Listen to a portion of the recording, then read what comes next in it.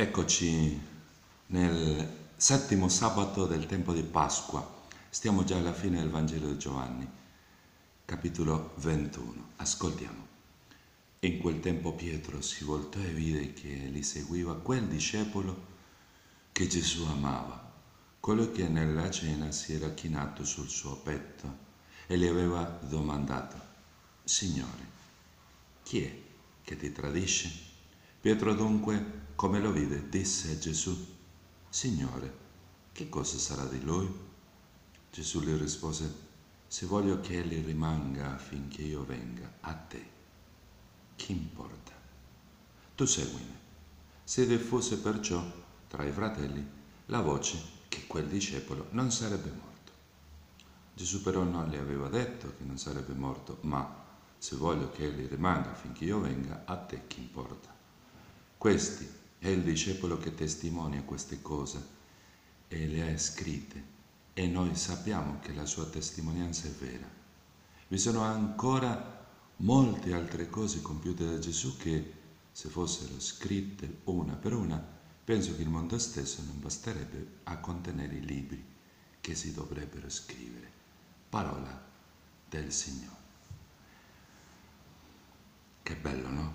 La fine del Vangelo continua a mettere elementi che, che, che ci devono aiutare a crescere nella vita cristiana. Guarda questo Pietro che pur essendo il capo della nuova comunità, diciamo tra noi il Papa, ancora sta a guardare quello che fanno gli altri o l'atteggiamento che fa il Signore verso gli altri è però questo, è però quello. Ma Pietro, tu non hai capito ancora niente, che la tua funzione è un servizio, che non è un posto. Se lo dico a Pietro, me lo dico a me e te lo dico a te. Cristiano, tu, cristiano, hai capito che tu hai una missione da svolgere, tu hai una missione che ti porterà alla santità. Non solo questo, guarda come finisce il Vangelo della stessa forma che finiva ieri. Seguimi. E oggi tu seguimi, cioè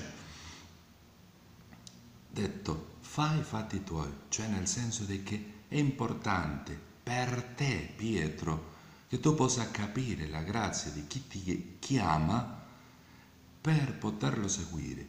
Ma per poter capire, Pietro, chi ti chiama, devi capire chi ti ama. E paradossalmente Giovanni ha sperimentato questo. Lui non è stato scelto il primo eh, come testa della comunità, ma nonostante questo lui sì ha sperimentato l'amore del Signore. Perché? Perché il Vangelo lo dice. Il Vangelo lo dice, dice e, e veniva, dice Pietro si voltò e vide che lo seguiva quel discepolo che Gesù amava. Ma chi sta scrivendo questo Vangelo? Il discepolo che Gesù amava, cioè Giovanni non sta dicendo Pietro si voltò e mi vide a me, a cui il Signore amava, come se due cose, come se si mettesse in evidenza che è Lui, ma noi lo sappiamo che è Lui perché dopo lo dirà, no? Cioè non basterebbe tutti i libri per poter scrivere i fatti che il Signore ha fatto. Se no, ecco il succo della parola d'oggi. Lui è una persona che si sente, ma non sentimentalmente, si sa ontologicamente amata dal Signore. Perciò dice a cui il Signore amava, e non una volta, in diverse volte nel Vangelo di Giovanni lui lo sta dicendo su di sé. Lui si sente amato.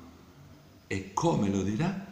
Il discepolo che Gesù amava. Non era che Gesù faceva questa discriminazione, diciamo, ama di più a questo e meno all'altro. No, perché anche a Giuda, che pur sapendo che lo avrebbe tradito, è stato eh, chiamato a, a, anche a, a rinunciare a questo, cioè a vedere che lui lo ama pur nella, eh, nel tradimento.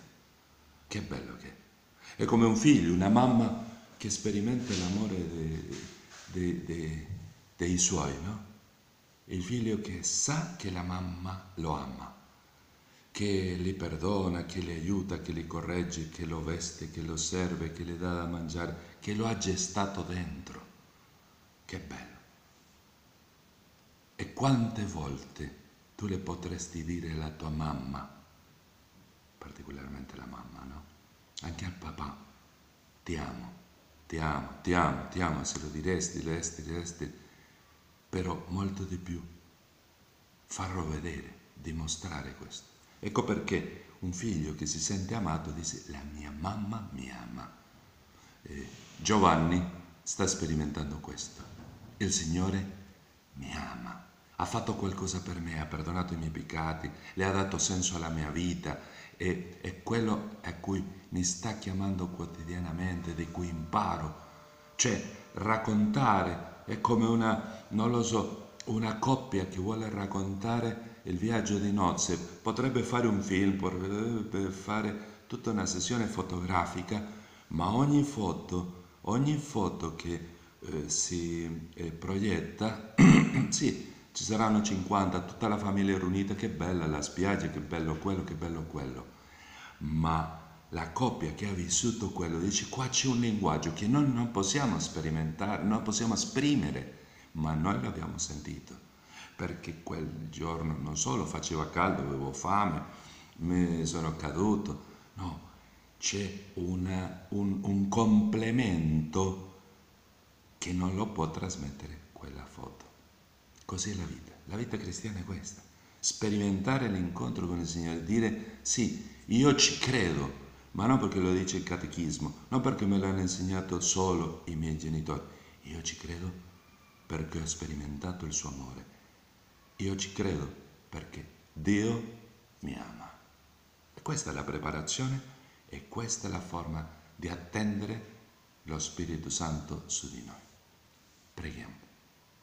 Signore, la tua Chiesa è simile questa mattina a Gerusalemme, preparata come una sposa per la venuta dello Spirito. Venite, corriamo. Il Re ci fa entrare nella sua dimora per farci dono del suo amore. Signore, fa che in questa Pentecoste alare il mio cuore, posi il mio cuore assumere le dimensioni della terra intera, perché il tuo Spirito si diffonde in ogni essere. Lo Spirito è il dito di Dio che scolpisce nei nostri cuori la tua legge d'amore, affinché non siamo lettere morte e diventiamo audaci testimoni del tuo regno che si avvicina. Te lo chiediamo per Cristo, il Figlio di Maria, che vive e regna nei secoli dei secoli. Amen. Maranatha, vieni Spirito Santo. Alleluia, alleluia.